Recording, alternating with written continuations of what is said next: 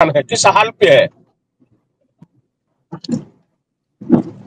क्योंकि वो कंपनी से रिटायर हुए थे sir, Banpur iron steel factory.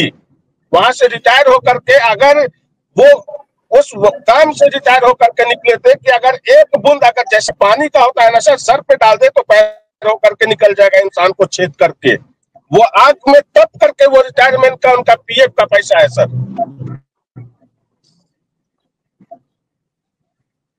तो चाहे कंपनी हमको इस पैसे के लिए जिस हाल पे जहाँ भी जाना पड़े सर उस चीज़ के लिए हम जाने के लिए तैयार है। क्योंकि एजेंट सीधा बोल दिया कि भाई हम लोग मजबूर थे हम पे दबाव दिया गया कंपनी जो बोला हम लोग करते चले गए। बोले भाई तुम लोग जो हम लोग जो है एक गाँव के एक छोटे ऐसे कीड़े हैं।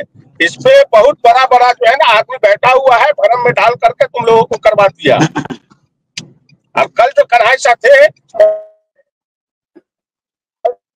हुआ नहीं तो कल कन्हाई साहब को हम डिबेट बतला देते कि कितने बड़े झूठे इंसान है। अगर उनके अंदर में जिस चीज़ का अगर पावर है वैल्यू है जवान का वैल्यू है तब ये डिबेट में आकर के देने और दिलाने की बात करे।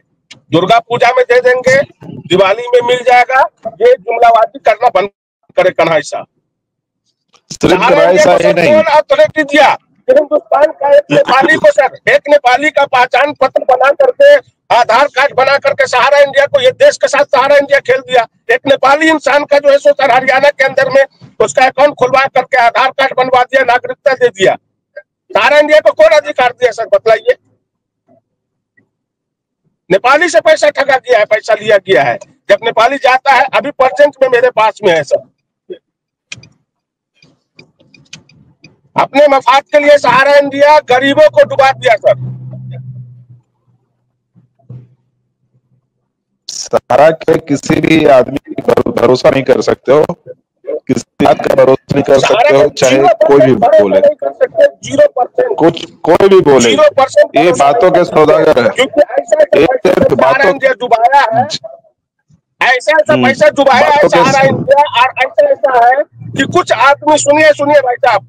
कुछ आदमी पाँच सौ, दो सौ, तीन सौ रियल एस्टेट का वो रियल एस्टेट खत्म हो गया। अगर सहारा इंडिया की बात करते, भरोसे की, अगर सहारा इंडिया ईमानदार होता तो जिस समय में 2012 में सेबी और सेबी का मसला हुआ था, अगर निवेशक के हक में अगर सहारा इंडिया लड़ते तो उस समय डायरेक्ट जो है ना इश्तेहार और अखबार में छाप देते कि भाई, हमारे साथ ये मसला आया और ये कंपनी का जो है ये दो लाइसेंस रद्द हुआ, जो सेबी जब्त कर रखा है, आप लोग अपना अपना डिमांड करिए और सेबी से पैसा लीजिए। ये तो अपना देखते हैं। बाकी बातों का सौदागर है। झूठ को सच सच को झूठ नहीं क्या करते हैं। अगर सहारा इंडिया के अगर उसका अगर ईमानदारी होता सहारा इंडिया के अंदर में सरबुद्ध राय के अंदर में अगर ईमानदारी होता सरबुद्ध राय के बारे में बतला रहे थे। कल कन्हई साहब के देश के बहुत सच्चे और अच्छे भक्त है। अरे दुनिया का फकीर से भी फकीर इंसान होगा ना तो उसका लड़का उसको आग दहन देगा। दोनों लड़का में से कोई नहीं आया। ऐसा धन किस काम का? आज देख लीजिए, सर रतन टाटा, उनको हम सैल्यूट करते हैं पूरा वर्ल्ड सैल्यूट करता है कि भारत से एक अच्छे विद्वान निकल गए। भारत को आज खलता है वैसे वैसे लोगों के लिए तो ऐसा विद्वान व्यक्ति चाहिए भारत के अंदर में। हिंदुस्तान नहीं, पूरा वर्ल्ड सैल्यूट करता है रतन टाटा को। नहीं लेकिन कंपनी ये कह रही है कि देखिए हम बहुत ही एक ऐसे इसमें हमारे खिलाफ पॉलिटिकल साजिश हो गई हमारे खिलाफ लोग पड़ गए हमको बर्बाद करने के लिए सोच रहे थे इसलिए हमें कन्वर्जन कराना पड़ा और कन्वर्जन हमने नहीं किया। एक तरफ़ तो कंपनी कहती है हमने कन्वर्जन किया ही नहीं है। आप लोगों ने अपने मन से निवेश किया है। मन से मन सर, से ये सिर्फ- मन से निवेश किया है सर। सर अगर मन से निवेश किया है तो उस समय में जब 2009 वहाँ के फ्रेंचाइजिंग मैनेजर बोले कि ऐसा होता है कि आपको अपने पैसा का एजेंट खुद बन जाइए। तो उस पैसा के एजेंट को हम खुद थे, और 2012 में जब कन्वर्जन हुआ तो सर उस समय में हम सऊदी के अंदर में थे अब्रॉड में थे आउट ऑफ़ इंडिया उसके एजेंट हम थे। फिर कैसे कन्वर्जन हो गया सर बगैर एजेंट के माध्यम से, क्योंकि मेरे फादर जो है सो सर उतने पढ़े लिखे आदमी नहीं थे नौ जानते नहीं थे, सीधे आदमी थे, बोले उनको जा करके, भाई आपको जो है कंपनी का कुछ मसला आ गया है, सो आपको पेपर बदल करके पेपर दिया जा रहा है। हमको मालूम हुआ फ़ौरन हम फ़ोन किए। भाई, क्या है, जब 2015 में गए हम सर तो पता चला कि भाई कन्वर्जन हो गया। उस समय में हम घर पे बैठा ले, दो चार आदमी को एजेंट को भी बैठा ले।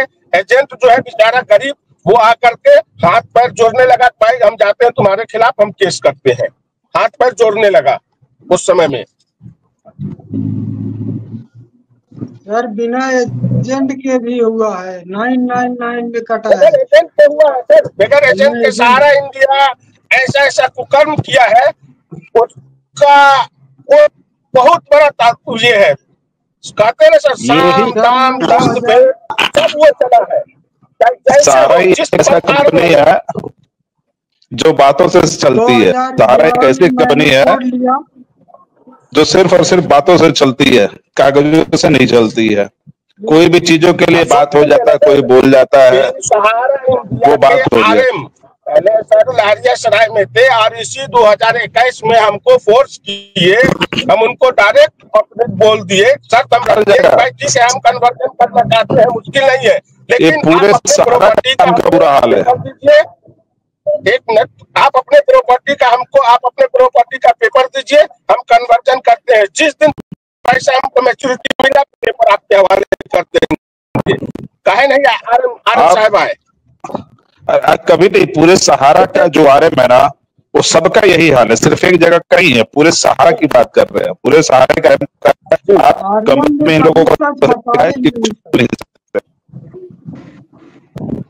और यहाँ कंपनी का हाल खराब है। कंपनी हाल से बेहाल बना हुआ है। और यहाँ आरएम का जो है सो सर प्रमोशन पे प्रमोशन हो रहा है। प्रमोशन पे प्रमोशन। आज वही आरएम सराय दरभंगा सराय से उठ करके चले गए। उनका प्रमोशन हुआ गया।